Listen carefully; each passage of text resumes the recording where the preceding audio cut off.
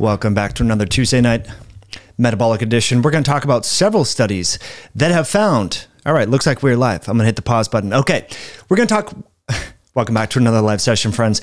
We're going to talk more about how several studies have found that people that do not exercise do not experience the same metabolic health benefits linked with fasting. And the title of the study that we're going to talk about today, as you can see here, training state, excuse me, training state and skeletal muscle autophagy response in 36 hours of fasting. And it was after reading the study that I changed my approach to intermittent fasting because I quickly looked and saw that exercise is one of the most important activators of the purported health benefits linked with fasting that many of you know of, which is autophagy. So, we're going to talk a little bit more about that and dive into the study. So, let's dive into it. Here's the actual paper. And I'm going to clear this layer so you don't have to look at this technical jargon. This is the paper that we're talking about here. Again, training state and skeletal muscle autophagy in response to a 36 hour fasting session. So we're diving into that, my friends, and uh, we're going to skip through all the technical jargon. Not not that it's not important, but I would like to get to uh, some of these different mechanistic figures here, looking at skeletal muscle biopsies with regards to changes in markers linked with autophagy after 36 hours fasting, comparing that in trained versus untrained individuals. So let's look here at the black bars. I'm going to give you the high level overview and then we'll dive into your questions. But first, as always, my friends, I just want to say thank you for being here. Thanks for hitting that like button. Uh, I'm super honored that you're with us here live. If you're enjoying the content or if you have any metabolic health related questions, type them in the chat bar or the comment section if you're watching the video live later. But again, hitting that like button, sharing this with a friend who's really into fasting helps them better understand the importance of exercise. I don't care if you fast or not. If you want to do a seven day fast, a 36 hour fast, alternate day fast, there are benefits there. But you get more mileage if you also habitually exercise three to five days per week. That's where we're going. I'm not saying fasting is useless. I'm not saying there are no benefits linked with fasting. In fact, this study did find that people who exercise experience greater benefits from fasting. That, my friends, is the point. And so we're going to dive into that and then talk about this paper too a muscle centric perspective on intermittent fasting a suboptimal dietary strategy for supporting muscle protein synthesis and uh, remodeling. So that is where we are going. Let's dive into the nuts and bolts. Again, any questions that you have, I will get to them very soon, but let's cut back to the paper. Okay. So again, I'm sharing with you images of the various autophagy initiation proteins. And these are the autophagy initiation proteins. And what you see here is after, at all points during the fasting protocol, you see people who regularly exercise have significantly higher markers of various autophagy initiation proteins.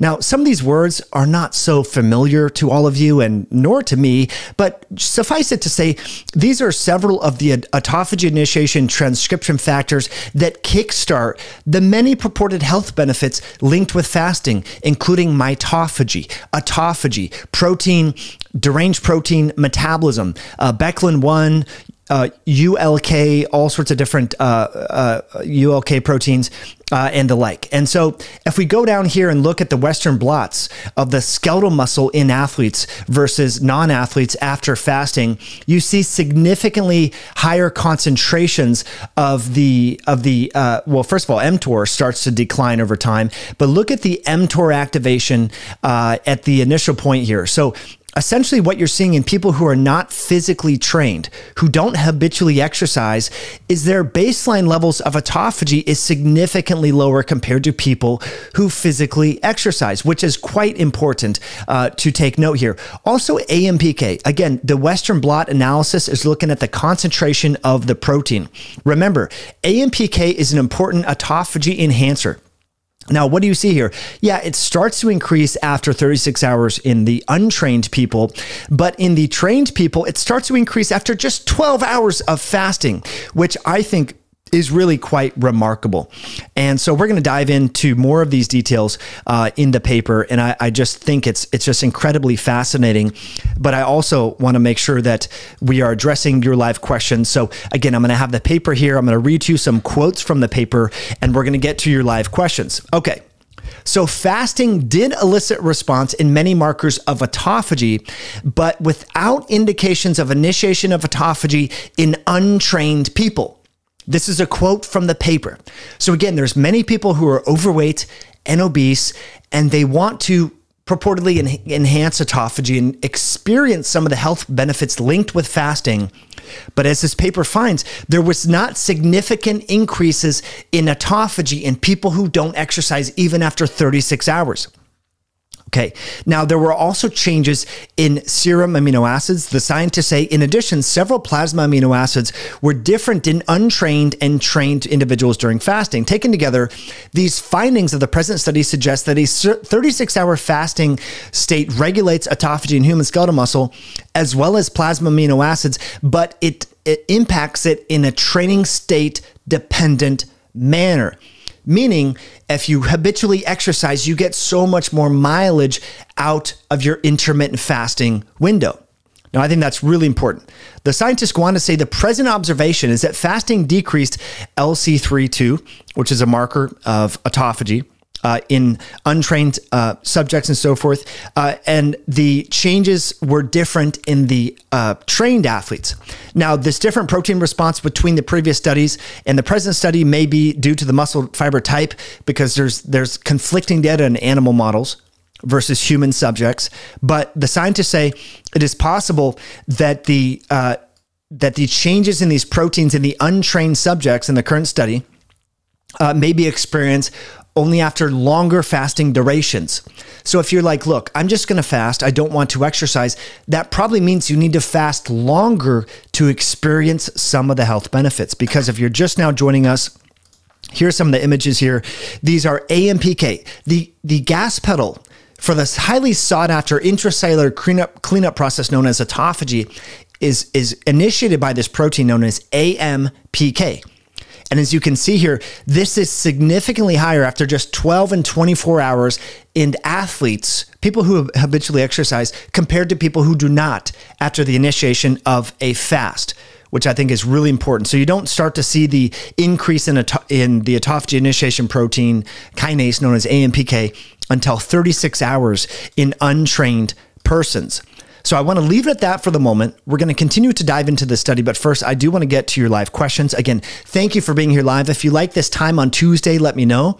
We have quite a few questions here, so I'm going to pop out the chat.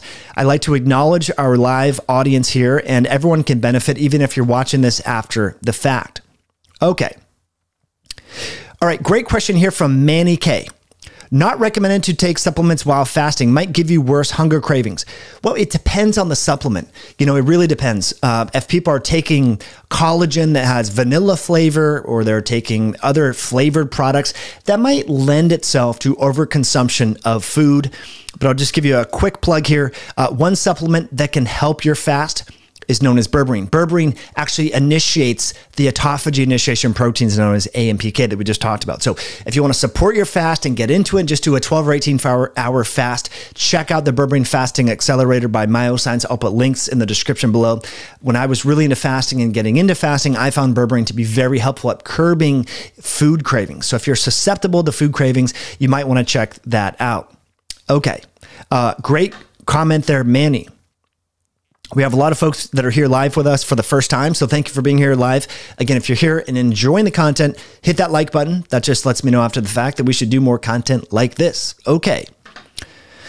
Uh, Pauline has a question. Should I take supplements while fasting? Well, yeah, I do. I, I don't see why not. Again, the idea is you wouldn't want to overdo all of the flavors and stevia and monk fruit potentially. But if you're exercising, it probably doesn't matter. You know, if you're if you're doing an 18 hour fast and you exercise at hour 12 during that fast, if you have, you know, a pre workout or some electrolytes or things like that, I'm not worried about that at all. Remember, exercise gives you more leeway in terms of the flexibility in your fasting window. You don't have to fast as long as we have just seen here. That people who regularly exercise, even just after 12 hours, have significant increases in their markers of autophagy initiation proteins, as can be portrayed in this figure.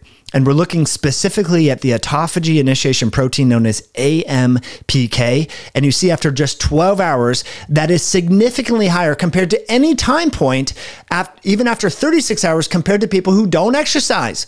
I mean, this figure right here should be the most compelling argument for exercise in terms of a fasting mimetic or a fasting enhancer. Uh, so I think I get really passionate about this because I, I feel that people overemphasize fasting and underemphasize exercise. Okay, Kevin has a question here. I'm super thin, 170 pounds, six feet tall, and I eat three meals a day, uh, or else I will lose uh, too much muscle mass. And this person, Kevin, has been keto or carnivore for four years. Right. So this is an individual at 175 pounds. I happen to be six foot one, so I understand I, am about 185 pounds. I would be very skinny, and and I found that when I was fasting a lot, you know, once a week doing a 24, 36 hour fast, once a quarter during a three day fast, I found that it I was losing too much strength, and I just realized that I don't want to get weaker as I get older. Uh, I, I still think I still leverage fasting. I still do fasting on days that I travel, on days where maybe I've overdone it on a birthday or a holiday. I'll fast the next day uh, to hit the reset button, so to speak, but um, definitely not doing excessive fasting uh, any longer. Okay. Great questions coming in. I'm just going to continue to answer some of these live questions. Again, I'm super grateful that you are all here. Uh, we are talking about the importance of exercise, especially if you want to harness the benefits of fasting, including activating autophagy. And so that's uh, what we're what we're really talking about uh, today. Okay, so let's get into some more live questions. Uh, the Quantum Alchemist always has good comments. Still, especially nowadays, given the low nutrient content in our food, I highly recommend supplementing when you fast. Good comment, as I mentioned. Um, you have changed our food. Yes, our food has changed over the last 100 years. So, yes, yeah, supplements during fast fasting windows, no problem with that. How long do you eat after you have to take a walk in order for it to be effective? Is there a time limit? Okay. Well, you know, I'd like to take a walk in the post meal window within 30 to 45 minutes. Um, studies, various studies show about 30 to 45 minutes is kind of the, if you're trying to split hairs, the optimal time to walk after a meal because that's when your glucose in the post meal window would be its highest. And so if you start moving your skeletal muscle, remember, muscles are sponges for serum glucose. You know, the difference between having diabetes and not diabetes is literally half a teaspoon of blood of glucose in the bloodstream. It's literally that tightly regulated. So if you can just go for a walk and pull out some of that serum glucose, you're going to have much better glucose regulation over the long haul. Uh, glucose is, is, should be tightly regulated. Okay, uh, the Jonik has a great question. What is untrained defined as? What characterizes an untrained individual? Well, this would be someone who doesn't exercise, someone who doesn't habitually exercise.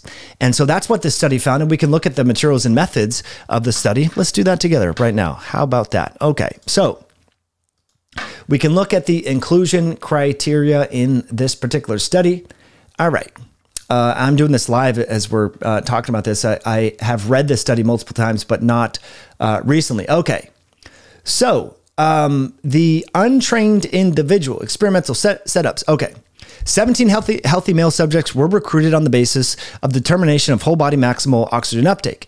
The inclusion of subjects required either a VO2 max below 45 or a VO2 max above 55 mill, mill, milliliters per minute per kilogram of body weight.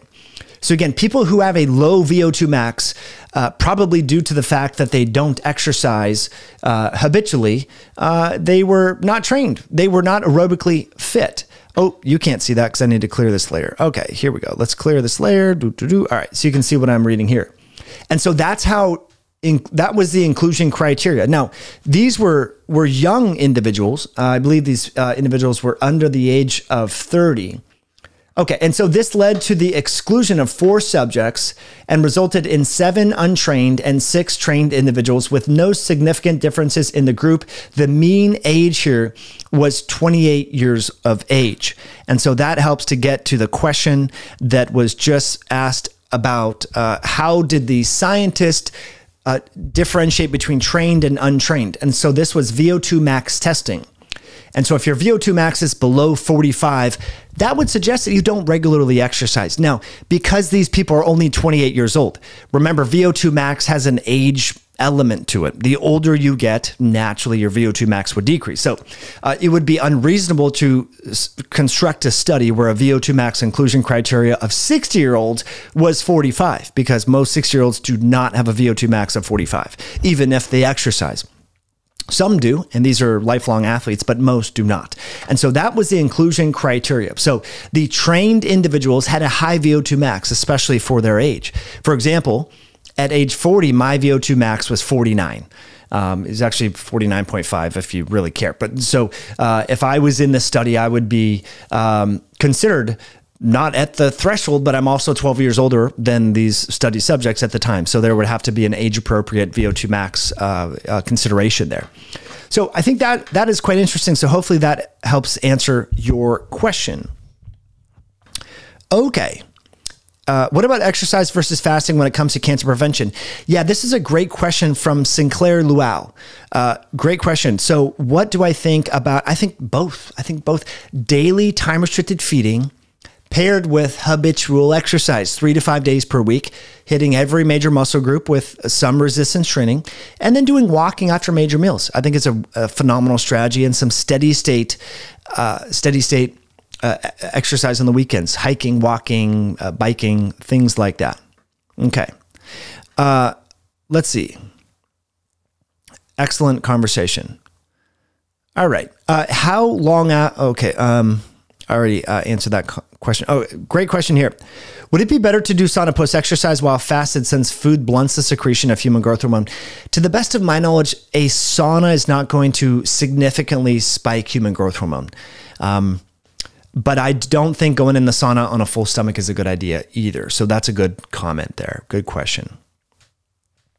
Okay. The man with no name. I'm a male who's 38 years old, 330 pounds. I struggle to exercise more than walking an hour per day. How much should I walk when I fast? I would consider still doing the same exercise and walking that you do even while you're fasting. I, that's what I would suggest. So that's a, a really good question. Okay.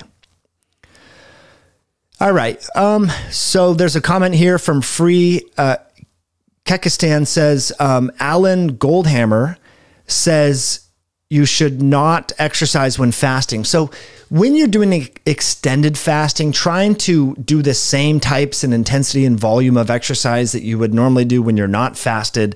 Um, is going to be a challenge. So I would I would uh, agree with that, but I still think you should exercise even while you fast. And so that's going to be my uh, suggestion of that. Okay my my uh, recommendation. All right, here we go.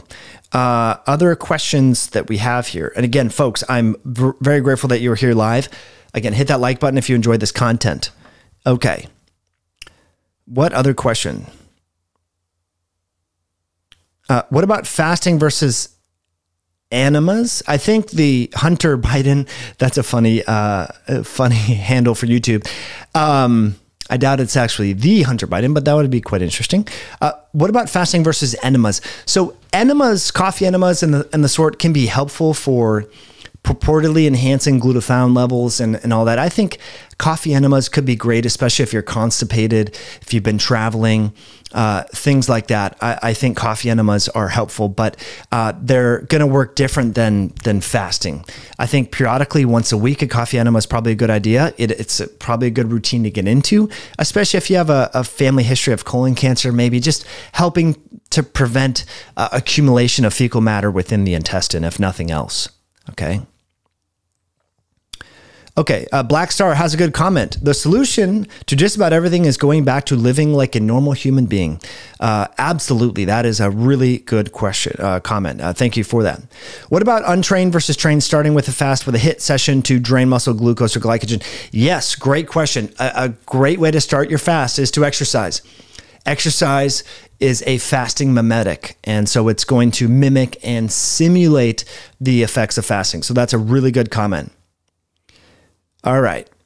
Uh, Corrine Aboon, I believe is how you pronounce your handle. Uh, yes, it was my understanding that exercise while fasting prevents muscle loss because it signals your body that you need your muscle. Yes. Remember, exercises, and, and we can talk about this study maybe more next week because it's a slightly different conversation. But um, exercise helps to increase muscle protein synthesis, which of course would be uh, would be declining when you're fasting because you're in a nutrient uh, deprived state. So that's a, a good comment. Thank you for that uh, comment. Okay, uh, question here. Saunas don't increase human growth hormone? Question mark. Yeah, saunas don't. You know, saunas move blood around. They move lymph around. They're good for the circulatory system, cardiovascular system, blood flow. They are good for blood sugar, but they're not really going to spike growth hormone. Um, there might be longevity properties linked with sauna, purging senescent cells and preventing oxidative stress and damage and the like. Uh, but yeah, they're not really a tool to really significantly enhance growth hormone. You want to spike growth hormone? Go lift some weights. That's what I would suggest and get a good night's sleep and don't be on your screens before bed. Okay. All right. Uh, I stopped taking the birth control pill in April, and I'm wondering if I should be eating three meals a day as opposed to two meals a day between 12 and 8. You know, Renee, that's a good question. I would just evaluate your body composition changes, but hats off to Renee for stopping hormonal birth control. Uh, we know birth control lowers testosterone. Birth control changes empathy in the brain. Birth control uh, has a, a, litany of negative side effects. So, uh, good for you, Renee, for getting off birth control. Christine says, It sounds like I'm on speed. I don't take speed. I don't take methamphetamines or cocaine or any illicit substances. Uh, I just get excited about nutrition research. But thanks for the reminder. I should slow down. So, Christine, thank you for that. Okay. Does the benefit of exercising have a diminishing return? At what point is exercising having a negative return on extending lifespan? Yeah, this is a good point. You know, today I lifted back. I did four different exercises, three to four sets each. I was in and out of the gym in 27 minutes. You know, um, does that mean if you do 35 minutes, it's bad? I think probably an hour four days a week for weightlifting is plenty sufficient. Uh, and then adding on some uh, you know aerobic training, some some HIIT training on top of that is fine. Great question. I love this question from In Plain View. Does cold exposure synergize with fasting? Yeah, yeah, it could. It could, but it could also make you more cold during your fasting window. So uh, I, I, do like the the synergy uh, there. Uh, there was a, a, recent published study found that fasting changes fat cell physiology and the function of fat cells, uh, and that is uh, really interesting. But we know that fasting makes you cold too. So, you know, if you you don't want to be uncomfortable if you're trying to fast, but I do think there is synergy. So that's a good point. In fact, in the wintertime, when there's not as much food available, uh, people naturally fast. Uh, and so I think that's important. Um, Again, small, quick plug, friends. We're talking all about fasting, the importance of exercise. The Berberine Fasting Accelerator from Myoxcience is a great tool to help curb those evening food cravings for junk food, carbohydrates, you know, the cookies, crackers, ice cream, things like that. Take two to three capsules with your last meal, and you might experience some health benefits. There's close to 300 reviews over at myoxcience.com. Okay. Uh, someone is commenting here. I don't know the, the URL, how to, it's La, Lasmigs89. I thought the study showed that saunas can increase growth hormone by 16%, according to Rhonda Patrick. Yeah, I'm a big fan of sauna. In fact, I have a friend coming over to sauna tonight, but but I have not seen that research on growth hormone and sauna, and I've studied a lot of research on that. Maybe perhaps it's a blind spot of mine, so I will look into that and get back to you. Okay. Does taking silica help strengthen your bones? That's a great question, Jay Boyce. Uh, silica, especially the BioSil, it's the uh, orthosalicylic acid. It's silica bound to choline. Uh, it can possibly enhance bone mineral density as well as hair, skin, nail integrity. So I think that's a good tool, especially if you don't eat bone broth and organ meats. So Jennifer likes that I speak fast. Thank you for that, Jennifer. Fasting makes me hot. Interesting. That's a good comment. Okay. All right. So great questions, friends. Did you enjoy this content? Please let me know by hitting that like button, sharing this video with a friend. We have more research coming next Tuesday about longevity and aging and the amino acid glycine. I think you'll find that quite interesting. Um, I really am grateful that you are here and that you tuned in and that you're all of your great comments. Uh, I save all of your comments here and uh, questions during the live chat and I actually review them. And that helps me create more content that can possibly help you. So I'm going to save all of these uh, questions in the chat that popped up. And, uh, yeah, I'm excited that you tuned all the way in. Hopefully, you have a great night. And again, the study that we are talking about here is uh, right here. This is the free text. I can uh, post this later. Titled Training State and Skeletal Muscle Autophagy in Response to 36 Hours of Fasting. The long and short of the story is people who habitually exercise and are trained get much more mileage from their fast compared to people who do not exercise. So, uh, if this doesn't provide a compelling case to exercise, I don't know what will. Friends, have an awesome evening wherever you are in the world. Appreciate you tuning in. Thanks for hitting that like button, and we will catch you on a future live session or video down the road. Have a good night. Bye now.